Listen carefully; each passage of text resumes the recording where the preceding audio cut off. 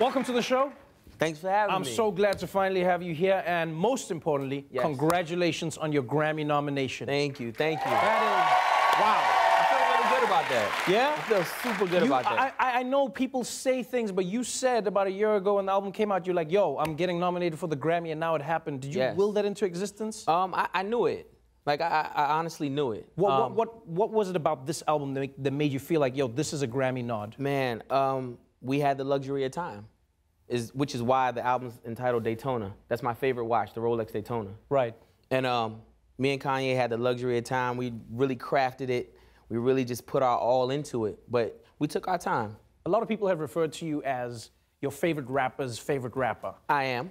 I am. Yeah, you, you, you're a lyricist. You, you, you Yeah. create in a, in, a, in a really organic way, and it, it feels like, like hip hop is meant to feel. You know what I'm saying? Yes. Wh- What's also interesting is you created an album that is shorter than most of the music we're used to now. Like these days, people are making albums that are like 20 tracks long, and it's like an hour and a half, and it doesn't end. And you came in and you were like, no, I'm gonna make it punchy, I'm gonna make it short, and I'm gonna make it fire. Was that a specific decision that you made to buck the trend, or was, was were you just creating what you created? definitely to buck the trend. Um, you know, a lot of people make long albums, and you know, sometimes they have a lot to say, so they make long albums, or they make long albums so the streaming numbers, you know, go higher and Right. makes their sales bigger, and the music may be a little cheap. So, you know, just so people knew that we weren't playing those type of games, we made a, a shorter album, seven songs, straight to the point of all killer, no filler. Oh.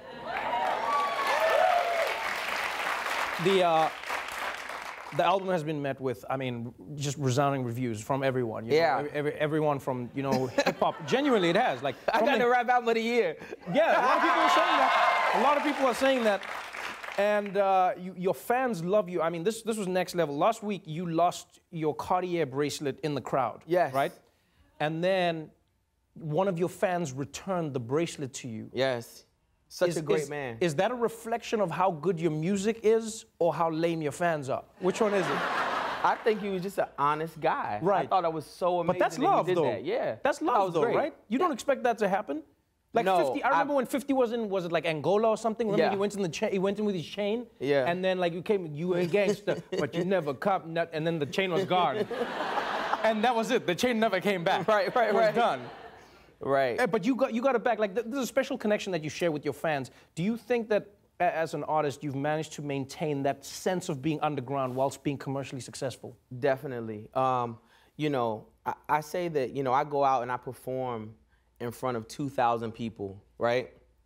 And to me, those are like the coolest 2,000 people in the world. Like, they're like, they, they tell me what to wear, they tell me what to buy, they tell me what's fresh. I learn everything from those guys. Um, now, I can go, you know, during festival season and we're doing 40, 50,000 people. But it's, it's something about those 2,000 Right. that are just like really honed in and, and really, I, I, I don't, I don't call them fans, I call them family. That's amazing. It sounds like you're a fan of your fans. For sure. I like They that. teach me everything. That's a, that's a different way to see it. Um, the album was powerful not just because of the lyrics, Yes. but also because of the music. Yes. But from the very beginning, it was met with controversy because the album cover was something that polarized so many people. On the album cover, you had the picture of the bathroom where Whitney Houston was found, and I mean, Right. I remember when this came out, people were people No, were- no. That's not the bathroom where she was found. That was just her home bathroom. right, okay. Right. And so this was Whitney Houston's bathroom. Yes. And a lot of people were like, why? Why that imagery? Um, I felt like, um, you know, this image spoke to exactly what's going on on the album. It's organized chaos. It's it's luxury. It's drugs. It's um, it's just chaos. Do you feel like do you feel like you, you, you revel in that? Is that like a world? Because you know what you, you know what I find interesting about you is you never strike me as somebody who doesn't seem out of control. Yeah. And yet what you rap about is everything that's happening in the world that's beyond your control. Is that is that is that conscious? Is that who you are? 100%. I mean, I make luxury street rap. And, um, you know, That's fascinating. Luxury street rap. yes, we're going to talk about everything. We're going to talk about the good, the bad, the ugly, the Benzes in jail, too. Wow. Talk about everything. You you actually wrote a song when Meek Mill was in prison, and that's what would Meek do? Yeah, man, because I wish he was on that record. What, what, what, were you feeling like? Like, like honestly, like you, you see somebody like Meek Mill go to prison, and you know a lot of the time people say about hip hop or, or sports or whatever, especially as a black man in America, people go, "I made it out." Right. You know, this is this is a life I get to live so that I don't get trapped in the life that was destined for me in many ways. When you saw Meek in that situation, was there a part of it that touched you where you were like, "That's like close to home"? Totally, because Meek is one of my favorite rappers, and he's like a rapper that I've watched. I've watched him on DVDs. I watched him just come up as a kid. He's he was actually popping a wheelie in one of my first videos. Like when I first started, Right. he was just like a kid on a bike in the neighborhood, and we was like, "Yeah, do that wheelie," and he did it, right? So, um, so for, to watch him, watch his rise, um, see how great he is as a as an MC, and then him going through, you know, legal troubles for popping a wheelie actually Right. it, it was terrible. And then you know now now you see him now, and you know he's came out with his new album. It's hot, and it's it's through the roof. Everybody Right. loves it. But it's like man, he he had to go through all of that just to get back to this point. It's amazing how it feels like the world that you've been as, in as Pusha T. Yeah. You have been at the epicenter of hip hop music and entertainment news over the past year. Yes. You know, you, we cannot speak about Pusha T without talking about the Drake beef. Yeah. You know, like as soon as you sat down, the first thought I have in my head is, do I have a son that you want to tell me about, Pusha? No man. I, I just I just wondered one thing, and, and that was like, do, do you ever feel like like do you feel like rap battles are something that uh, are still are they still relevant in today's rap culture? Or do you think that like people have lost uh, like a sense of what they were or what they're supposed to be? Because some people go, rap battles were around when you know when rap was like about shooting people, and now rap has changed in its image, and rap is now just a, now it's like the battles are more about the flow and the lyrics, and people go, oh, but Pusha, you went into family, that's over the edge. But people go, but there is no edge in a rap There- battle. there- there is no edge in rap battles. Everybody has to stop that narrative. It's terrible. Right. They're like ruining the game. Um, you know, you know, in a, in a rap battle, it's it's it's it's, it's dog eat dog. Right. And you just go for it. And um, it's about it's not so much always about lyricism. It's about just being scathing, and and and getting a rise, getting a rise out of your opponent. Right. Or or making them hush. You, you, you did feel like it went to the next level though when you were at a concert in Canada. Yeah. And then like one of Drake's people or fans jumped onto the stage. I- I don't know who that was. I don't know who it was. At that point, do you think to yourself, all right, maybe rap beefs are not for me? No, they're very much over me. Right? No, Is they're that- very much I- like when, when you look at this when you look at this album though, when you look at a like like a rap battle, what part of a rap battle informs how you make the music? Like because it, it's different disciplines, right?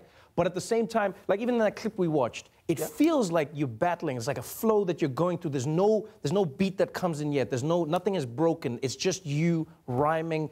Just like going through those bars, one, one, one rhyme after another. It feels like, is that what luxury street rap is? I mean, that's that is just the criteria for my style of rhyme. Right. It's it's always gonna feel combative. It's always gonna feel you're always gonna feel that angst. You're always gonna get that message. Right. Um, not everybody's like that. Why do you think people connected with the album? Why do you think it's nominated for a Grammy? Um, because this this is the purest rap album that people have had in a long, long time.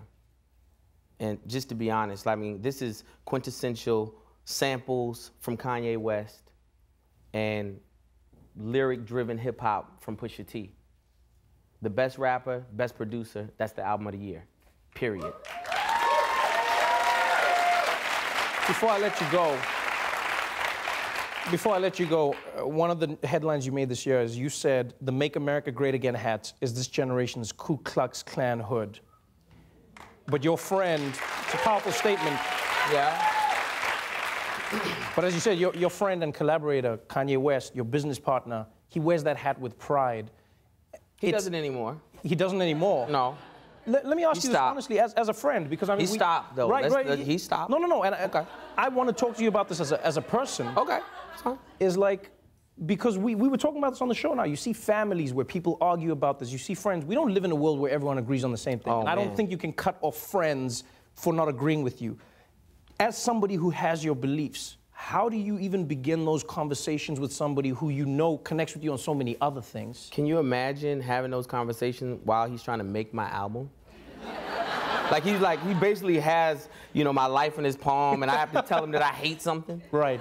So we're like, you know, it, it, it was, you know, we always have real conversations. though. Right, right, right. Always, and um, I think that's why me and him connect so well, and I think that's why Daytona came out so well. Right. Because it, it's it's a give and take. If I don't like something, I say it, and he tries to correct it, and Right. so on and so forth. And when you when you look at Kanye West now, you know one of the things we can't escape is the fact that he is a genius who is tormented by his mental health issues. And now now we've gotten to the point where we're realizing, oh, maybe it's not as much of a joke as people liked it to be. And he's Right. come out and said, hey, I I, I want to talk about this. I want to I want to get something done with this.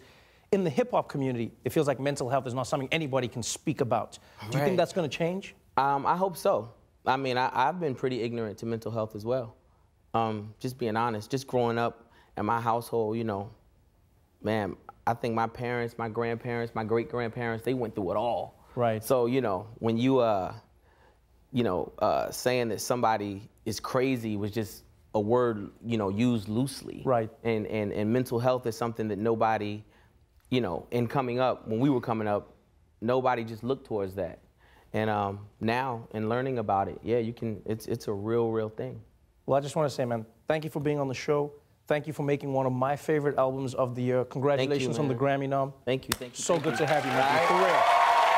Daytona is available now. Pusha T, everybody.